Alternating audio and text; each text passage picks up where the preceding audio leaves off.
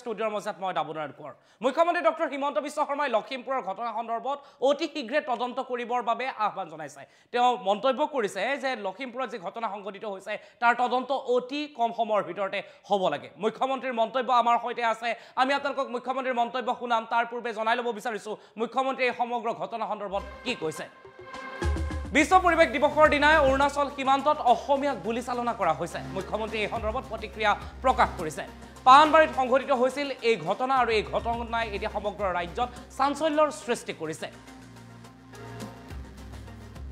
সমগ্ৰ ঘটনাক লৈ মুখ্যমন্ত্ৰী ডক্টৰ হিমন্ত বিশ্ব শৰ্মাই প্ৰতিক্ৰিয়া প্ৰকাশ কৰিছে। মুখ্যমন্ত্ৰী ডক্টৰ হিমন্ত বিশ্ব শৰ্মাৰ মন্তব্যই এতিয়া ৰাজ্যত এক প্ৰকাৰে জোকাৰণিৰ সৃষ্টি কৰিছে। তেওঁ সমগ্ৰ ঘটনাক লৈ অতি কম সময়ৰ ভিতৰতে তদন্ত কৰিব বুলি মন্তব্য প্ৰকাশ কৰিছে।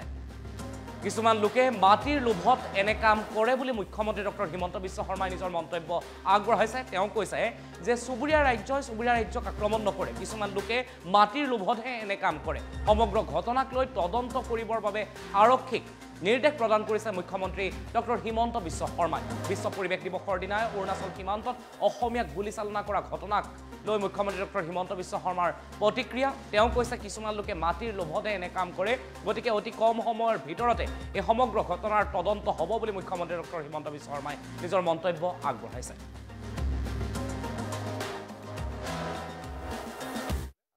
এতিয়াও আমাৰ বাউণ্ডৰী আমি সীমাংকন কৰিব পৰা নাই।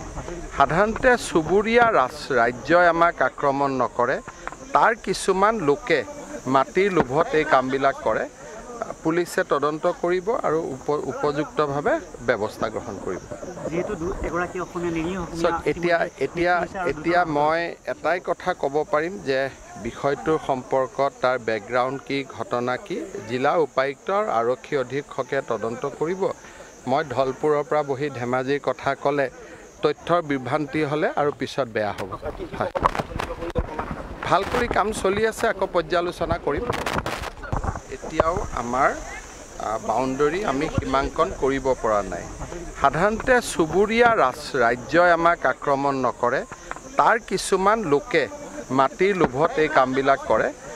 পুলিচে তদন্ত কৰিব আৰু উপ উপযুক্তভাৱে ব্যৱস্থা গ্ৰহণ কৰিব। এতিয়া এতিয়া এতিয়া মই এটাই কথা ক'ব পাৰিম যে বিষয়টোৰ সম্পৰ্কত তাৰ বেকগ্ৰাউণ্ড কি ঘটনা কি জিলা উপায়ুক্ত আৰু আৰক্ষী অধীক্ষকে তদন্ত কৰিব। মই ধলপুৰৰ পৰা বহি ধেমাজিৰ কথা ক'লে তথ্যৰ বিভ্ৰান্তি হ'লে আৰু পিছত বেয়া হ'ব। হয়। ভাল কৰি কাম চলি আছে আকৌ পৰ্যালোচনা কৰিম।